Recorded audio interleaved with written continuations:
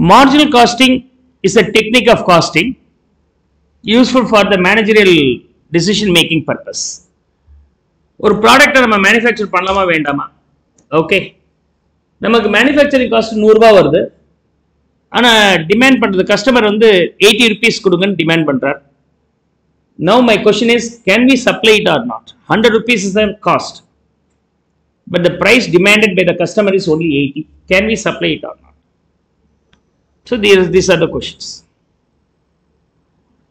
For example i fixed a fees here. Okay. If i add one more student here what could be the fees? The same fees sir. என்ன fees நீங்க fix பண்ணீங்களோ அதான் வாங்கணும். அந்த இன்னொருத்தருக்கு அதே fix fees fix பண்ணாக்க கட்டுப்படி ஆகும். பட் இங்க வந்து ரெண்டு பெஞ்ச் ஃபுல்லா எனக்கு ஃப்ரீயா இருக்கு. இங்க ஒரு ஆளை உட்கார வச்சு ஒரு நூ- ஒரு ரூபாய் வாங்கணும்னு எனக்கு கெயின் தானே. If I get even single rupee extra it's gain sir அப்படின்னா சும்மா தானே இருக்குன்னு ஒருத்தர் நான் ஒரு ரூபாய் வாங்கி உள்ளார உட்கார வச்சா நீங்க என்ன பண்ணுவீங்க? எல்லாம் என்ன கேரா பண்ணிடுவீங்க. சார் எங்களுக்கு ஒரு ரூபாய் கொடுங்க சார். பங்கு சந்தை மாதிரி அதுக்கப்புறம். ஆ? பங்கு ஷேர் ஆட்டோ மாதிரி ஆகிடும் லாஸ்ட் வரவங்களுக்கு வந்து ஷேர் பிடிச்சி கொடுக்குற மாதிரி ஆகிடும் ஸோ இட்ஸ் நாட் பாசிபிள் அதுவே வேற ஒரு லொகேஷன்ல இருக்கிறார் where is not able to connect here இங்க கனெக்ட் பண்ண முடியாது. அப்ப நான் நினைக்கிற ஃபீஸ் அங்க ஃபிக்ஸ் பண்ண முடியும் ஆன்லைனில் டிஃப்ரெண்ட் ஃபீஸ்னு ஃபிக்ஸ் பண்ண முடியுது.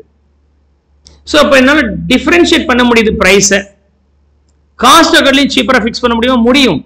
If the location is totally different அப்படின்னா இதெல்லாம் எப்படி சார் ஹேண்டில் பண்ணுறது அப்படின்னா that is what about the marginal costing technique we are going to study in detail all the six அதெல்லாமே நம்ம டீட்டெயிலாக பார்க்க போகிறோம் நீங்கள் ஒரு பேனா வாங்கி விற்கிறீங்க அறுபது ரூபாய்க்கு வாங்குறீங்க நூறுரூவா விற்கிறீங்க buy it for sixty and sell it for hundred that gives a profit of say forty rupees isn't நீங்கள் ரோட்டில் வந்து பேனா வாங்குறீங்க ரோட்டில் பேனா வித்துட்டே போகிறீங்க ம்?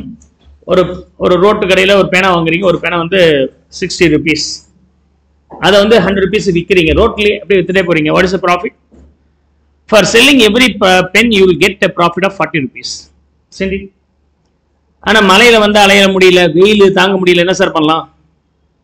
அப்படின்னு நீங்கள் என்ன பண்ணலாம்? ஒரு கடையை வாடகை எடுக்கலாம். அந்த வாடகை ஒரு இருபதாயிரம் ரூபாய் கேட்குறாங்க.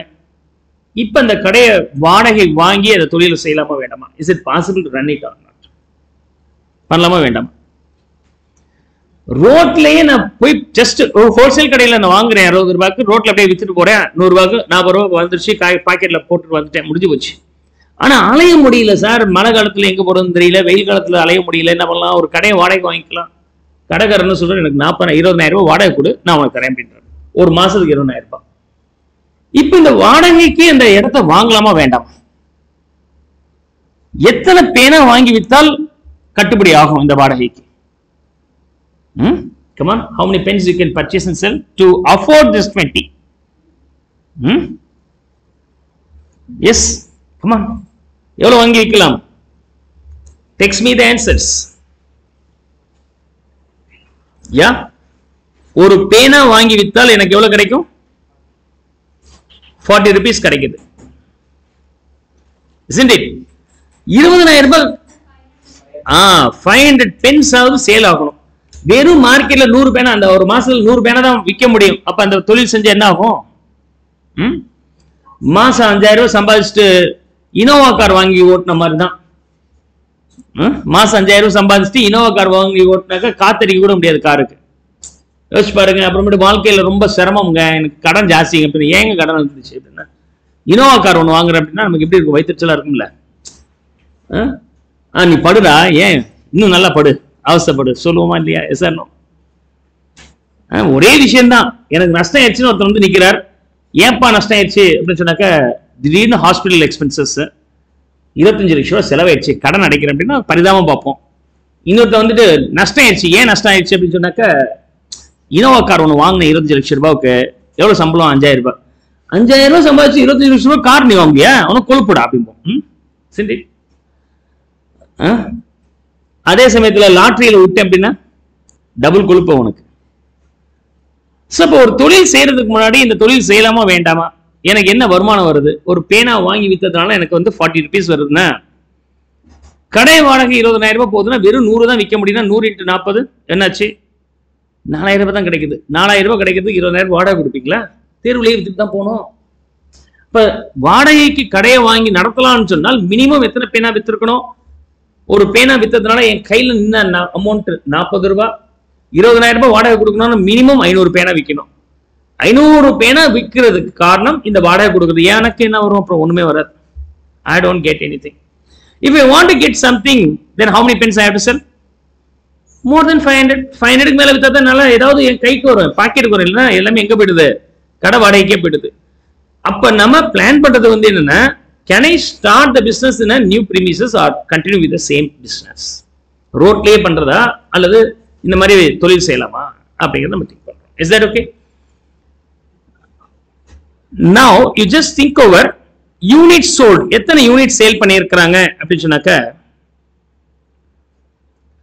Eight hundred unit சோல்டுங்க is it viable or not to run the business definitely viable என்ன காரணம்? ஃபைவ் ஹண்ட்ரட் யூனிட்ஸே நமக்கு போதுமானது. ஃபைவ் ஹண்ட்ரட் யூனிட்ஸ்க்கு மேலே விற்கிற ஒவ்வொரு பேனாவுக்கும் வரக்கூடிய அந்த ஃபார்ட்டி ருபீஸ் என்னது? என்னுடைய ப்ராஃபிட் என் பாக்கெட்டுக்கு வந்துடும் very simple that will directly come to my account directly will come to my account is that okay so sale price variable cost fixed cost and units sold these are the things you understand நான் what is a profit sir இதில் என்ன sir profit இருக்கும்? எட்நூறு unit வித்தோம்னா என்ன sir profit வரும்? கவனிங்க. Sales sales ஒரு unit வித்தால் நூறு ரூபாங்க. பர் யூனிட் பேசிஸ்ல போடுறேன். பர் யூனிட் பேசிஸ்ல minus variable cost variable cost எவ்வளோ? சிக்ஸ்டி வேரியபிள் காஸ்ட்னா ஒரு பேனா அறுபது ரூபாய்னா ரெண்டு பேனா வாங்கினாக்க நூத்தி இருபது ரூபாய் அதே ப்ரொபோர்ஷன் சேஞ்ச் ஆச்சுன்னா அது பேர் வேரியபிள் காஸ்ட் சேல்ஸ்ல இருந்து வேரியபிள் காஸ்ட் சப்ட்ராக்ட் பண்ணிட்டீங்கன்னா that is the value named as contribution இதுக்கு பேர் என்னது? Contribution is that okay contribution இந்த buying and selling contributed you forty rupees வாங்கி வித்தது நமக்கு என்ன செஞ்சது? தெருவில் ஒரு பேனா வாங்கி ஹோல்சேல்ல தெருவிலே வித்தன் இல்லையா அது இந்த சேல் எனக்கு என்ன கொடுத்தது அப்படின்னு சொன்னாக்க நாற்பது ரூபா கான்ட்ரிபியூட் பண்ணிச்சு. அந்த உழைப்பு எனக்கு கொடுத்தது நாற்பது ரூபா ஏன் இந்த நாற்பது ரூபாய் என் பாக்கெட்டுக்கு வரல? அலைய முடியலன்னு ஃபெசிலிட்டி கம்ஃபர்ட்டுக்காக என்ன பண்ணியிருக்கிறேன்? ஒரு கிராண்டியராக ஒரு வாடகைக்கு ஒரு பிஸ்னஸ் ப்ரீமிசஸ் வாங்கி போட்டேன். ஒரு இனோவா கார் வாங்கி போட்ட மாதிரி. ஸோ இது கட்டுப்படி ஆகுமா இல்லையான்னு பார்க்கணுமா இல்லையா? You to check whether it's affordable or not அதுதான் இப்போ பார்க்க now how many units is sold currently eight hundred units ஒரு யூனிட் நூறுரூபா விற்கிறீங்கன்னா எயிட் ஹண்ட்ரட் யூனிட்ஸுக்கு எவ்வளோ வரும்? எயிட்டி தௌசண்ட் ருபீஸ் நமக்கு கிடைக்குது. வேரியபிள் காஸ்ட் எவ்வளோ வரும்? சிக்ஸ்டி இன்ட்டு எயிட் ஹண்ட்ரட் எவ்வளோ வருது? ம்? Forty eight thousand AIDS with what what I get due to this thirty two thousand வந்துச்சு. இந்த முப்பத்தி ரெண்டும் என் பாக்கெட்டுக்கு வராததுக்கு காரணம் நான் எடுத்த முடிவு. நீங்க வேலை செஞ்சு சம்பாதிச்சது எல்லாமே உங்க பாக்கெட்டுக்கு வராததுக்கு காரணம்? என்னது? நான் ஒர்க் பண்ற போறதுல வந்து பெரிய பந்தாவா கேப்ஸ்ல தான் சார் போவேன். ஆட்டோல தான் சார் போவேன். ஹோட்டல்ல தான் சார் சாப்பிடுவேன். அப்படின்னு சொன்னீங்கன்னா அப்புறம் பாக்கெட்ல எங்க வரும்? வேலை செஞ்சு என்னத்த கண்டேன் அப்படின்னா எப்படி கண்டு கண்டுபிடிப்பீங்க? ஒண்ணுமே இருக்காது உங்க கையில. ஸோ இதெல்லாம் ஃபினான்ஸ் தான். You to be very careful careful in these finance matter is that okay okay? Contribution thirty two thousand in total eight hundred வித்தீங்க இந்த கான்ட்ரிபியூஷன்ல இருந்து ஏன் உங்க பாக்கெட்டுக்கு வரல அப்படின்னாக்கா நீங்க என்ன கொடுத்துருக்கீங்கன்னா ஃபெசிலிட்டிக்கான payment name as FC fixed cost எவ்வளோ அது?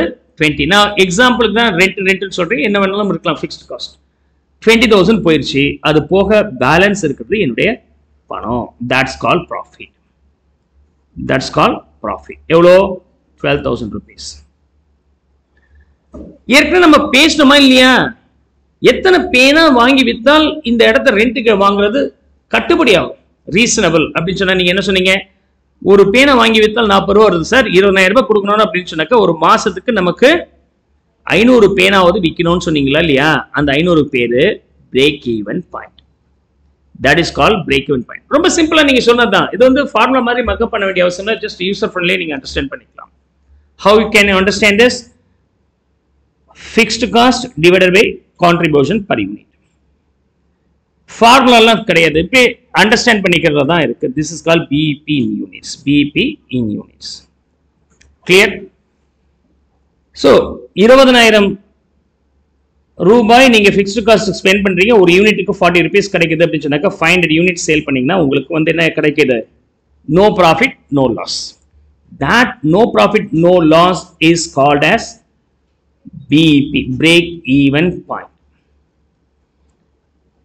Anything above that will be called as safety. You are very safe ன்னு அர்த்தம் margin of safety. ஐநூறு யூனிட்டுக்கு மேலே என்ன வித்தாலும் அந்த வித்ததுனால வந்த அமௌண்ட் உங்க பாக்கெட்டுக்கு வரும் இல்லையா that is call margin of safety which is three hundred units which is three hundred units is that okay five hundred யூனிட்ஸ்னா into hundred போட்டீங்கன்னா என்ன ஆச்சுங்க உங்களுக்கு? Fifty thousand rupees five hundred into sixty thirty thousand is the variable cost five hundred into forty twenty thousand rupees is the contribution where fixed cost you have to meet here being 20 so your profit is zero. இந்த five ஹண்ட்ரடுக்கு மேல எத்தனை unit வித்திருக்கிறீங்க? Three hundred units வித்திருக்கிறீங்க.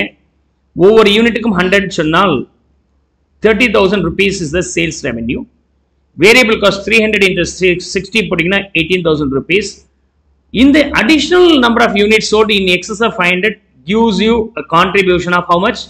12000 rupees. Will you pay fixed cost any அதான் கொடுத்தாச்சுப்பா இனிமேல் திரும்ப fixed cost கொடுக்க போகிறதில்ல தட் பிகம் ஜீரோ டுவெல்லேருந்து ஃபிக்ஸ்டு காஸ்ட் ஜீரோனா அந்த entire twelve thousand will be my profit so என்னுடைய ஓவரால் சேல்ஸ் எயிட் ஹண்ட்ரடை டோட்டல் சேல்ஸ் எயிட் ஹண்ட்ரடை நான் என்ன பண்ணியிருக்கிறேன் to what extent I have to sell to meet no profit no loss which is call BP beyond that if I do any sales that is call margin of safety அப்படின்னு நம்ம புரிஞ்சுக்கிட்டோம் you are in safer position okay so marginal costing அப்படிங்கும்போது margin அப்படின்னா என்ன? அப்படின்னு சொன்னாக்கா அடிஷ்னல்னு பேர். Otherwise the marginal costing is named as variable cost அடிஷ்னல்னா என்ன அர்த்தம்? What is the additional cost you spend for manufacturing one additional unit ஒரு அடிஷ்னல் பேனாவை நீங்க வாங்கி விற்கணும்னா என்ன அடிஷ்னல் செலவு பண்ணுவீங்க? சிக்ஸ்டி ருபீஸ் ரெண்ட் மாறாது. That constant that remains constant in totality total இருபதனாயிரம் ரூபாய்ங்கிறது மாற போறதில்ல எவ்வளவுதான் பேனா வாங்கி வைத்தாலும் அந்த ரெண்ட் வந்து டுவெண்ட்டியாக தான் இருக்கும். அதுக்கு மேல போனாலும் டுவெண்ட்டியாக தான் இருக்கும். Okay so additional cost will be always in case of fixed cost zero ஆனால் in case of variable cost every யூனிட்டோட additional cost அப்படியே நமக்கு இருக்கும். அதனால தான் marginal cost is otherwise named as variable cost what is incremental cost that is variable cost is that clear hopes I could understand come on make note of it